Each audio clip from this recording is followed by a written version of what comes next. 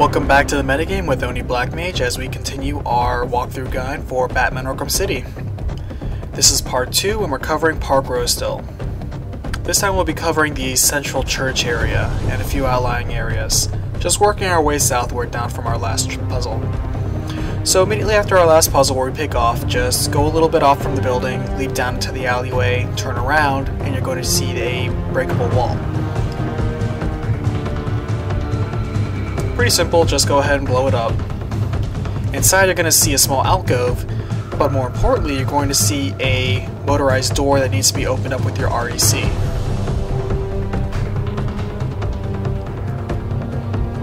Inside, sitting on top of a barrel that you can easily see from the outside alley, is a Riddler trophy. Go ahead and uh, knock the door up again, and you'll see up on the roof is another Catwoman trophy that you optionally can collect later. As you can see, Batman can't collect it like that.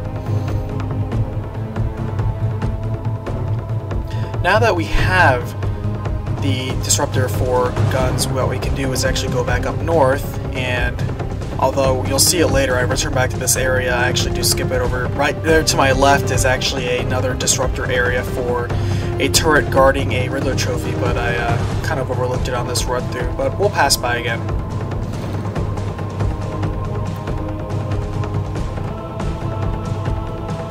The problem with a lot of these sandbox areas is that uh, it's a little bit difficult to be thorough in your first run through, so doing a cleanup sweep afterwards, sometimes even twice, is a little necessary. The inside areas are a lot more, you know, they're simpler to be thorough, mostly because you can easily sweep a room and make sure that you have everything before continuing on. So go ahead, disrupt the little turret up on the ceiling, destroy the breakable wall, and collect your Riddler trophy. To make sure you're as thorough as possible, make sure to beat up as many green thugs as you find. Each one that you beat up drops anywhere from, I think, three to five different riddle locations, from anywhere from I've seen, I think, one to two different areas. So, if you want more question marks to appear on your map, what you need to do is just simply go and beat up more green thugs and interrogate them. It's best to do that as early as possible.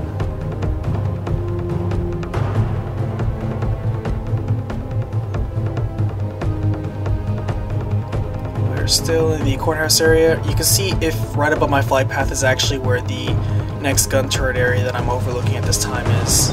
But like I said, we'll be returning to there very shortly. Instead, glide down to this alcove, here, actually, or the ceiling. This is a very simple chap setup. What you're going to see is a small riddle globe right there, and off to the front is a pressure plate. Simply step on the pressure plate, and you're going to see a little riddle trophy just pull out your Batclaw and nab it.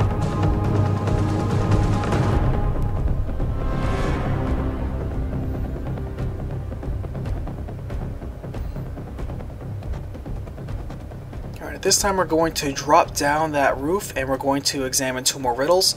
Right there off to the left is a very, you know, ostentatious Harvey Dent office. That's his campaign office. Scan the front of that building, that's one riddle. Another one is you need to be on top of the courthouse itself to view the riddle from the proper angle. That's the courthouse, and that's the riddle that you're going to need to scan. It's another one of those question marks that we saw so many of in Arkham Asylum. They're back now, just as uh, just as tricky, but this first one's very simple. Just go to the very uh, end of the flagpole, scan it, and that's it. As usual, you can expect to find a lot more later that are very tricky.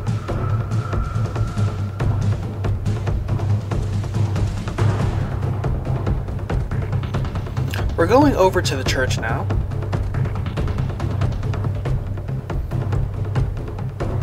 Not necessarily on the roof of the church, but right behind it, you're going to see a very obvious riddle globe or dome. I'm really not sure what you call these things. A little cage. Yeah, a little trophy cage, and right next to it is just a simple decryption little keypad.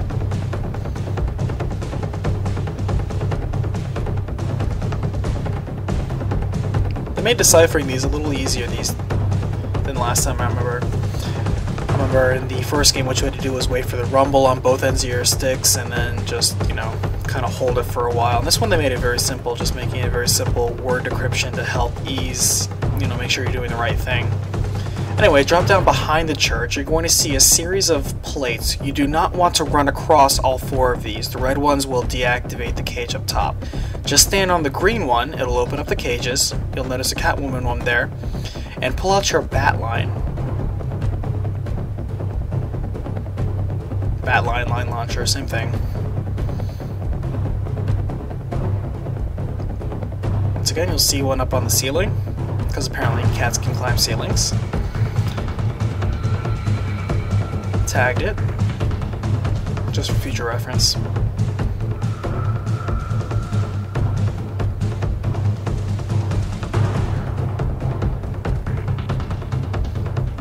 And since we're here at the church, we might as well just go ahead and go inside and collect the few trophies that are in.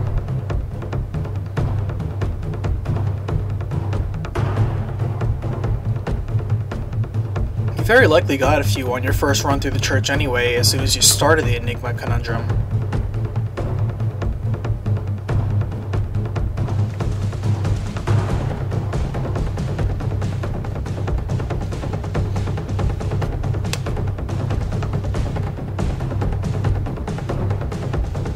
So inside, no special uh, video for the Riddler just yet anyway. Off to the right, past this little gurney, what you're going to see is a desk and a table. Angle the camera upwards so that way you have a somewhat forced zoom in angle of the articles on the table, and that's the riddle itself.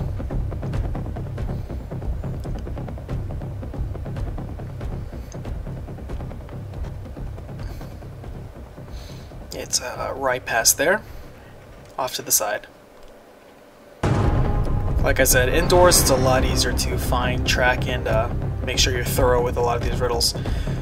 You probably noticed this one very early on. What you see is a breakable wall that you can easily just bust through with your line launcher, zip on through, and there's a very simple trophy.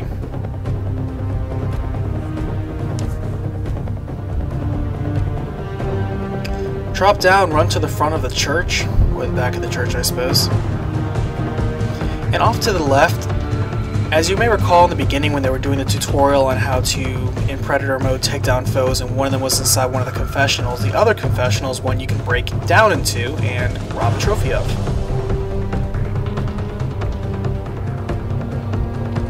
The last one you saw on the minimap was right next to the entrance, but to be more precise, it's actually up in the bell tower. You probably saw this one very early on as well and wondered, how on earth do I get that down from the roof?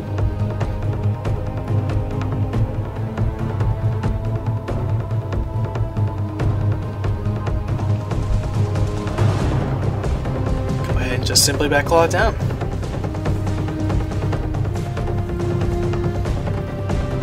That's actually it for the church inside anyway.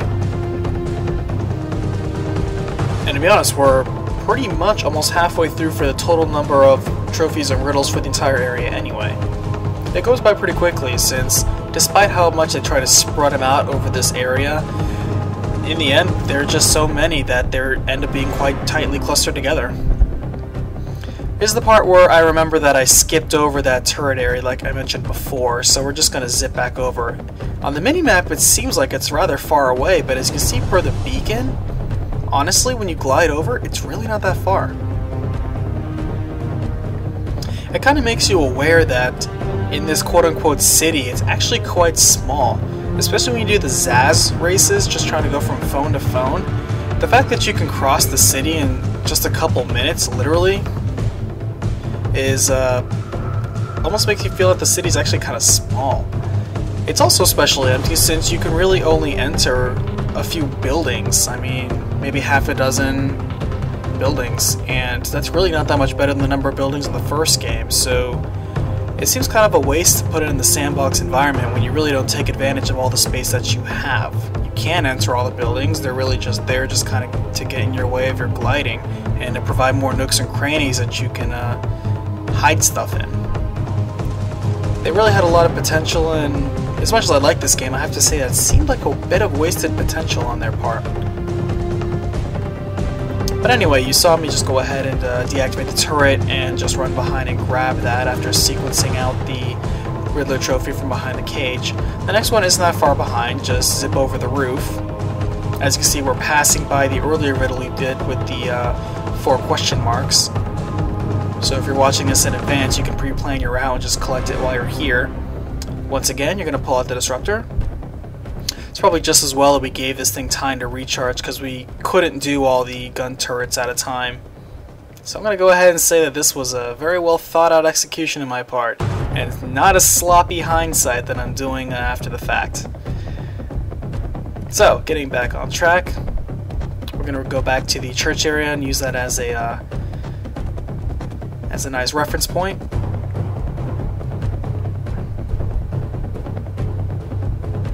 I have to say, uh, after doing Park Row for the first time, the remaining footage is actually done a bit more cleaner and thorough on the remaining runs since I learned very early on by doing Park Row that it's simply better to scour the area first, plan the route after defeating all the green goons, and then making it easier on you guys to follow rather than doing this back and forth, back and forth. Anyway, as you saw marked on the map here, you're going to see this uh, cage. Let's go ahead and check the location. It's right here, directly south from the entrance of the church. And if you put on detective mode, you're going to see that the leading line to this is actually up, way up, and around the corner of this building. There's a question mark that you have to hit. Now there are two ways you can go around this. The probably simple way would be to simply hit it with a remote Batarang, but since we're awesome, what we're going to do is simply throw a regular Batarang at it, quick throw, and the like 8 or 9 seconds that they give you, you can easily just glide around and land on top of the riddle and grab it just the nick of time, just like Batman would. That is the hideout for the Riddler, if you want to continue the Riddler conundrum and rescue the victims. But we're just gonna pause on that and do some uh, miscellaneous collection. I'm gonna return to the church front so that way it's a recognizable, you know, launching point. I don't know if you were uh, similar to me and you kind of get easily lost even in smaller than ridiculously huge cities like this. Alright, so, back to the beginning.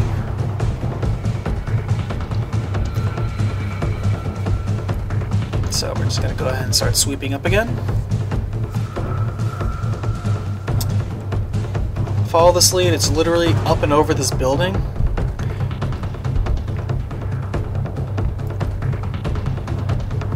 dive down, and in this precise area, notice this sign, this sort of clown-faced bar sign, just hanging on the side of the alley. There are two of them actually on either side of the street, on the block.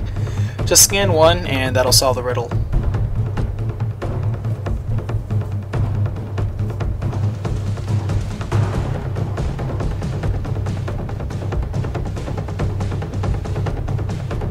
Going up from this, This was very straightforward. Uh, up on the roof, similar to where we just were, just simply uh, claw your way up. You're going to see one of these, I'm not exactly sure what you call these little uh, huts on the top of uh, the roofs there. I gotta say that uh, I don't hang around roofs that often in the cities to know what those the proper word for those are called. I might find out later. But either way, this one had a breakable wall, bust through, grab the trophy, you're on your way.